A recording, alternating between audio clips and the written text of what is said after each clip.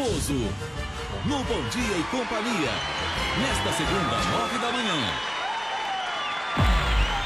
Mais tradicional que isso não existe. Paixão do Deus tradicional.